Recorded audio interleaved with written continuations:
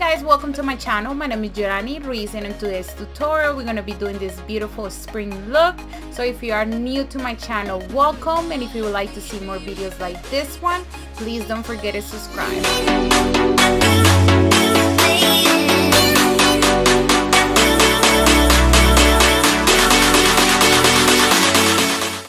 Jumping into the tutorial today we're going to start with my eyes first and I'm going to start applying the NYX concealer under my eyebrows just to highlight them and define them a little bit more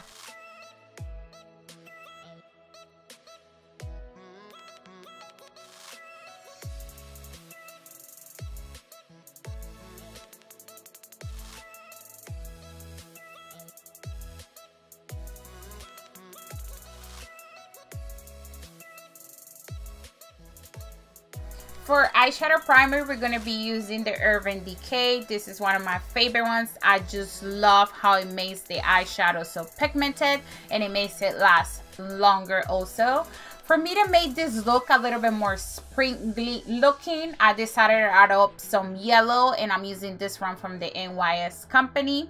Then I decided to try something new and I went in with this palette that I found at Ulta and the price was just amazing. It's from the Revolution company and I love it guys. The pigmentation, it's so great. It's so amazing. And the colors, I was obsessed. Then I'm adding up on my crease a little bit of this kind of pinkish, purplish color.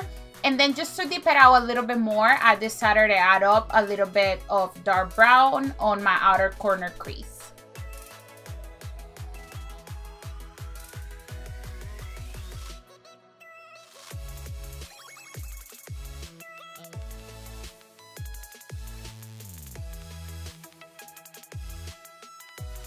Going in with the concealer from ColourPop Cosmetics, I'm going to go ahead and start creating my cut crease.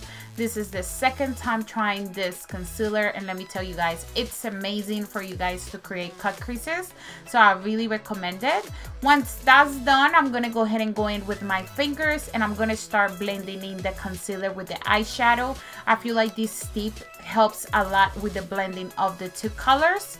And then going in with the same palette from the Revolution company, I'm going to start applying this kind of whitish pink color on top of the concealer. Once the blending is done, I'm going to go ahead and start cleaning up every residual of eyeshadow under my eyes. And I will be using these wipes from Equate, Equate company. You know, guys, I'm so Spanish. And then going in with the NYX eyeliner, which is one of my favorite ones. It's just so easy to apply or manage or just work with it. I'm going to start creating a really nice wing liner and then I'm going to start correcting a little bit under it with my concealer and my brush just to make the perfection and make it a little bit more nicer.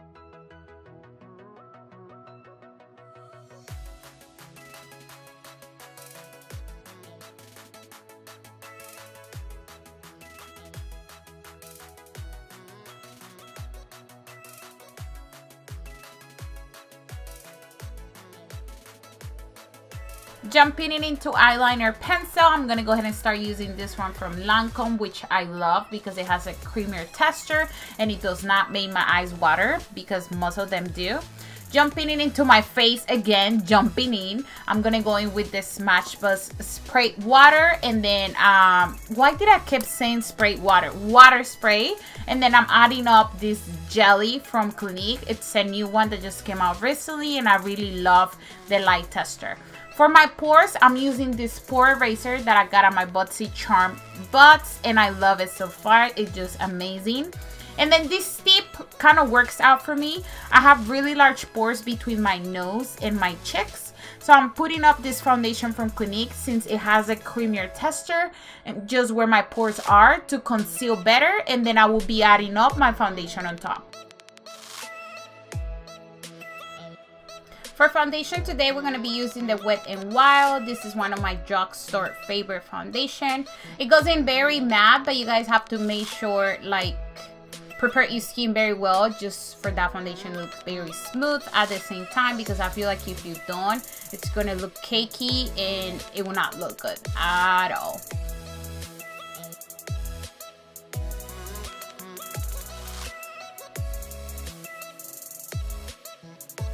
Going in with this concealer from Maybelline. It's called Age Rewind I Amaze. I've used this concealer three times, even when I go out, and it just stays on very well. And I love how the baking looks and the texture just looks very soft. It does not crease at all, so I really recommend it. After that concealer, it's well done, put on. I don't even know what to say. well done put it after the concealer. Is already on. We're gonna go ahead and start baking. And for baking powder i'm using this powder from the revolution company. This is one of my favorite ones after the laura mercier because it just makes that baking look like you know like. For powder we're gonna be using fit me you know we're gonna be using the Fit Me powder and I'm just adding it up on top of this foundation. It's very soft, so I really love the way it looks on top of it. Then from contour, for contour, you guys already know my accent is just so strong sometimes. For contour, we're gonna be using the MAC powder, as you guys have seen on my videos before, on my past tutorials. I always use this powder first because it really helps to contour my face like really nice and natural. And then I add up a little bit of bronzer or other color on top. Just to make sure my nose looks like very and slim, I'm gonna make sure and do that nice contour because you guys know I have a big nose. So I have to make it look like very tiny for it to look better. So I'm using up the same uh, powder from MAC just to make sure that contour looks like bomb.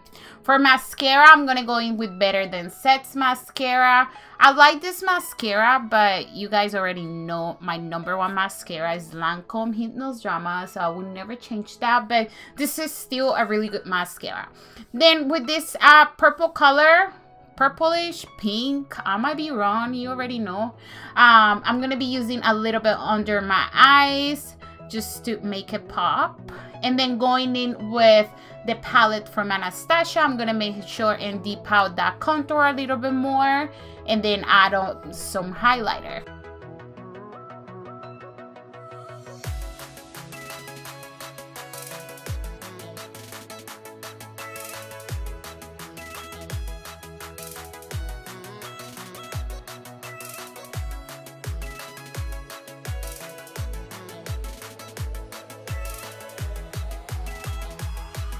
For blush today, we are going to be using Patrick Star.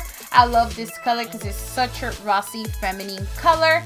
And then I'm going to go ahead and start with the lips. And for lips, I'm using this lip pencil from Lancome. This is one of my favorite colors because it's just such a very nice nude. And you can use any lipstick with it. I feel like it works with any lipstick color that you wear that it's nude.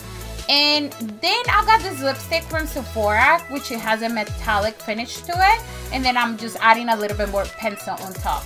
Okay, you guys, this is the end of this video. I really hope you guys liked it and enjoy it. Please don't forget to subscribe and leave your comments below. Thank you for watching.